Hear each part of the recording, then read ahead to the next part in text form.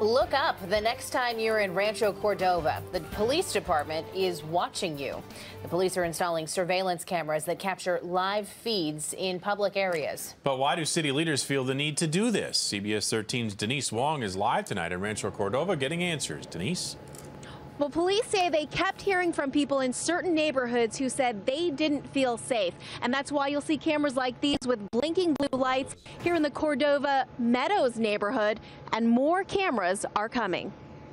If people notice it, you know, it, it'll stop a lot of crime in this area. James Miller noticed these cameras and thinks they're just what's needed here at West La Loma and Folsom. And it's for the criminals. You know, I mean, if, if you're doing something on the street, you know, they'll catch you. That's what Rancho Cordova's police chief hopes. His department just installed a handful of these cameras in this neighborhood two weeks ago. He says they've already done their job. The beginning of last month, we had a couple drive-by shootings in that neighborhood. In the last three weeks, we haven't had one. The cameras provide live surveillance to the police station and to sergeants in their vehicles. Having that real-time access means they can do more than just deter crime. They can help officers stop criminals in the act. This has been a community effort. Edmund Insala lives down the street and attended the packed town hall meetings where his neighbors talked about the rise in crime. The community started to ask for cameras, and the, the city was responsive. Funding is coming from the Measure H sales tax increase approved by voters last fall to improve public safety. And while some worry about their privacy, It's very 1984, what do you mean?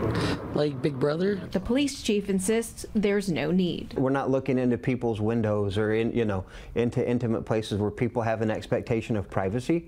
But so if, as you can see, they're, they're out in the streets, they're on the sidewalks. And in a few weeks, the city will install more cameras in the business district, a few miles up near the Walmart.